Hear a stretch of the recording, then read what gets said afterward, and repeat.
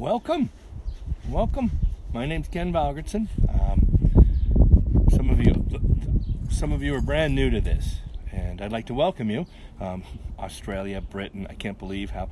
Um, I started this uh, for all of you people that are self-isolating, and thank you for self-isolating. Uh, and parents were going nuts. I wanted stuff to do, and I remembered that I loved giving Shel Silverstein poems and reading them to my students. And, and I thought, well, they all have kids, so the 42 people that'll probably listen, I can read it to them. Well, this thing went viral. Now, I know viral is not the right term to use, but it explains it because I had 42 people to listen to it who shared, and each of them shared, and another 100 people got it. And they shared, and another 100 people got it. And now I'm in the thousands, which I never thought would ever happen. So, all you brand new people, welcome. Um, I'm known as Ken Valgardson. Uh, I have some people on here that know me as Uncle Ken. Um, a lot of you know me as Mr. V for 35 years of teaching you. And uh, some of the comedians and people in the comedy world know me as, as, you know, Kenny V. So I have an assignment with every one of my lessons. And I'm going to give you the assignment first. I'm going to read you a whole bunch of Shel Silverstein poems today. One of them became a very big hit. Now he has a lot of songs that became hits, like Johnny Cash, Boy Named Sue, every Doctor Hook song. There is, if you check and look it up, there's some that are not not appropriate for the kids. So I'm going to tell you it's the Irish Rovers, and I want you to find that. I want you to play it, start listening to it, drive everybody crazy, and make actions for the the chorus, and and you'll figure it out. There's a chorus in there there was actions if you probably really look on the internet because there was a pub in Vancouver where they always played and everybody did actions. So that's going to be your assignment today. And uh, I have another assignment at the end because in my first episode I ended with a terms that that probably made you wonder what I was talking about. So let's get this started. Let's and I and, all of you people that are, are they, they do the little I can't read it. I'm on my cell phone and, and I'm out here in the backyard in Camrose. For those of you in Australia, plus 35. It's minus six with a wind chill here, but that's okay. Self isolating. I got a yard, and I got my dog. First one, the first poem. Every kid that I taught grade one to learnt this poem, and they could probably still say it today. Boa constrictor. I'm being eaten by a boa constrictor, a boa constrictor, a boa constrictor. I'm being eaten by a boa constrictor and I don't like it one bit. Well, what do you know? He's nibbling on my toe. Oh, gee, he's up to my knee. Oh my, he's up to my thigh. Oh fiddle, he's up to my middle. Oh heck, he's up to my neck. Oh dread, he's up to me. Okay, that should scare the kids. But this one's for the Fleck family. They they told me they wanted this one. It's called Sick, and it's what a lot of kids do.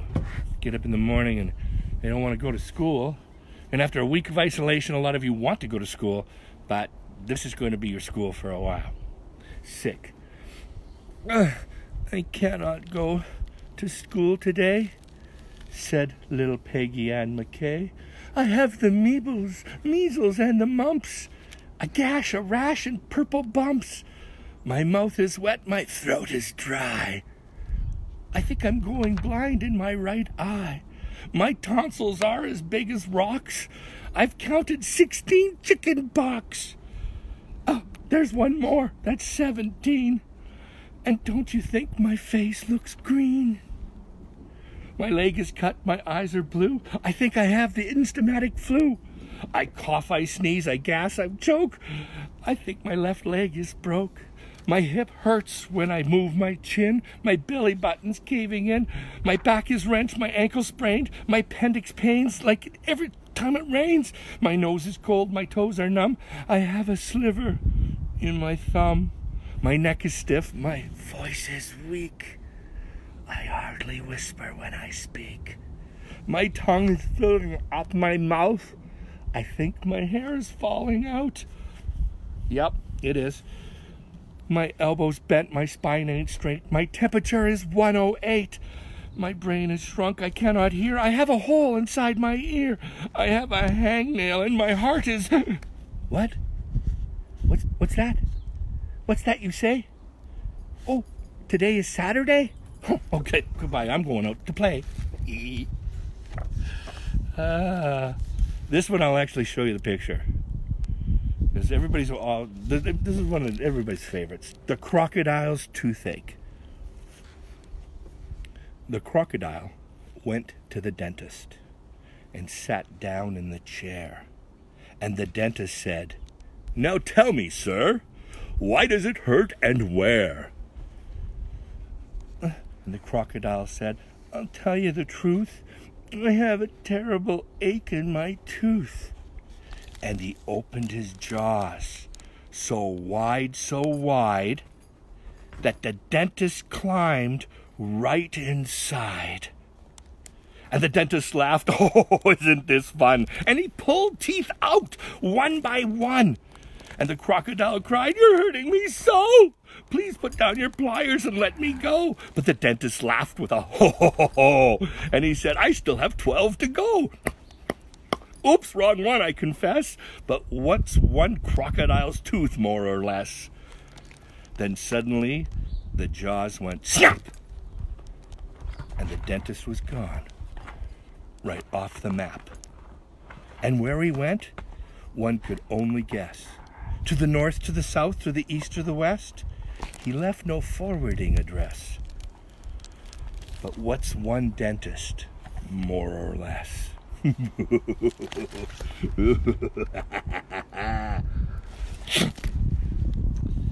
yes, sirree. Oh, here comes the ball. Rocky's keeping me busy here. Yeah, Rocky. His ball is a basketball. Regular dogs have small this one's called the unicorn. A lot of parents be saying, you're saying it wrong. A long time ago, when the earth was green, there was more kind of animals than you've ever seen. They'd run around free when the earth was being born, and the loveliest of them all was the unicorn.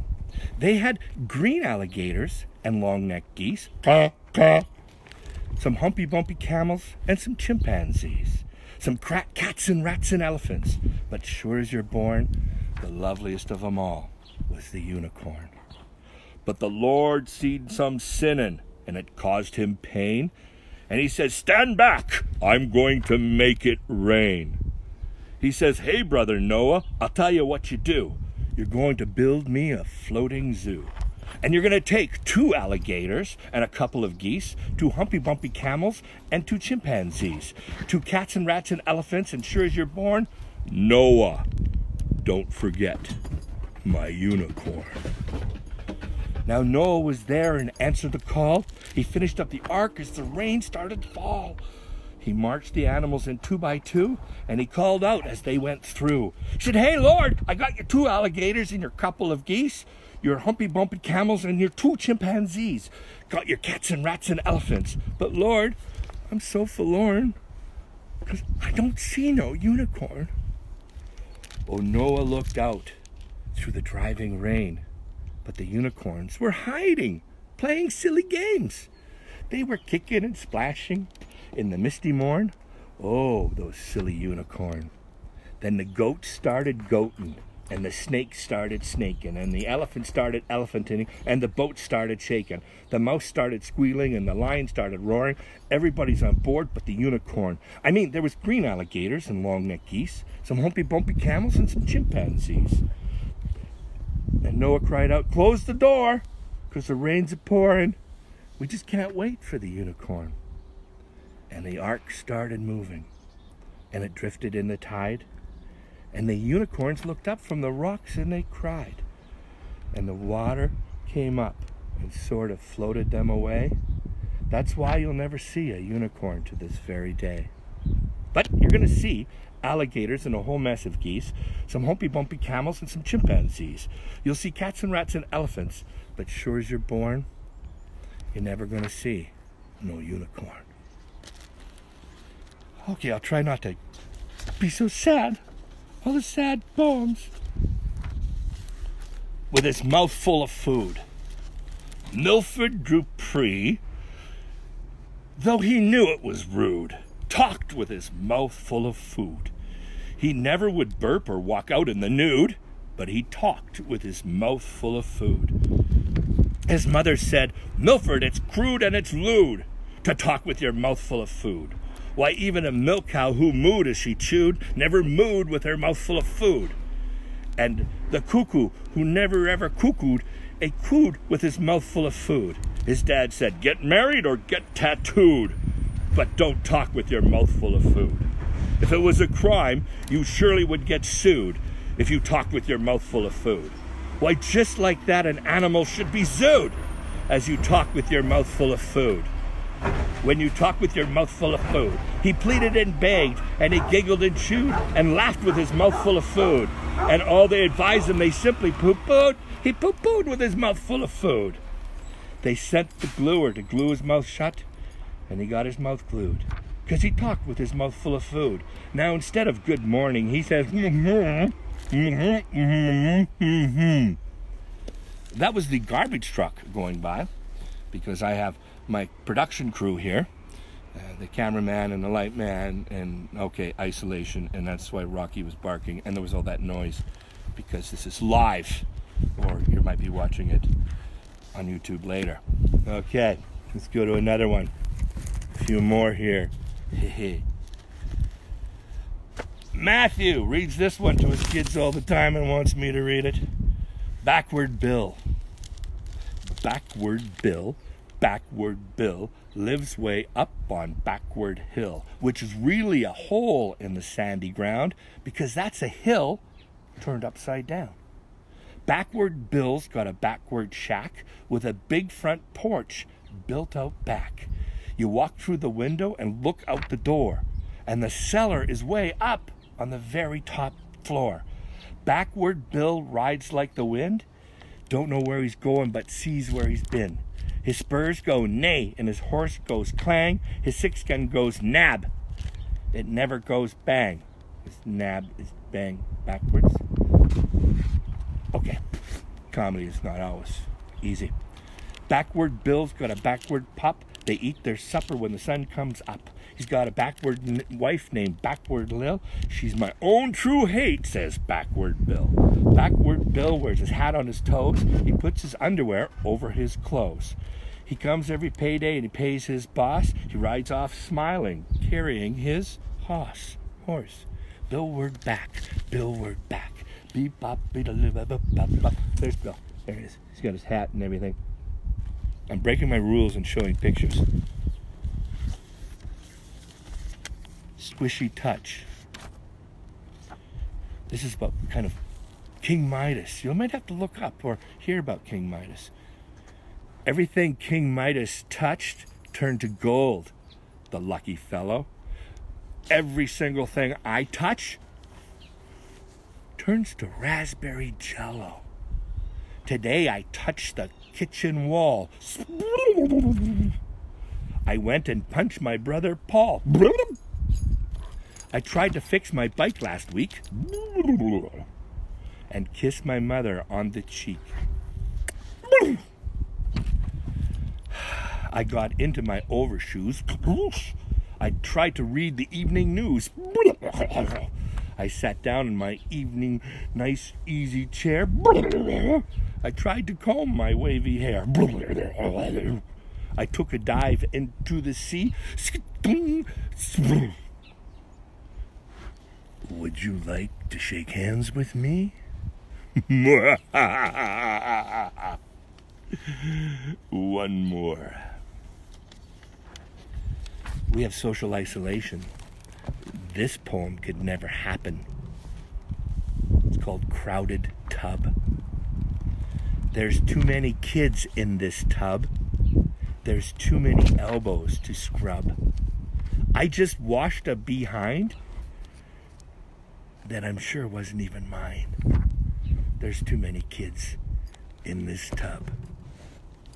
Well, thank you guys for coming. Yeah, Rocky, you, you got the garbage man, and then and, and you would chase them, and there's squirrels. Where's the squirrels? And that gets rid of them. Okay, So, your first one, one of those is an Irish Rover song. Find it for the kids. You'll have to find it because there's other ones. And uh, I want them to start making up. There's a chorus that keeps coming up that probably has a bunch of different things that you could do for it. My first show, it's funny I'm calling these shows, I'm a kid's entertainer. I ended with Twas Brillig and the Slithy Toves. And nobody kind of went, What the heck are you saying? Well, I just said it there. That's not a Shel Silverstein poem, but that's another very great poem. So I want you to look it up. Twas brillig and the slithy toves is the first line. And uh, figure that all out. And tomorrow, tomorrow is going to be a science lesson um, on flatulence, uh, poofing, and I'm going to explain the science behind it because every kid wants to know. Uh, Wednesday, I'm I'm going to show a kids book that uh, Whitney and I wrote, and the unfinished one without any illustrations, and we're going to go through all of that one. And I think we're going to start doing Bernoulli's principle and paper airplanes and maybe some weather. I don't know, but uh, it keeps me busy. Thank you for watching. And it was brillig and a slithy toves. Bye bye.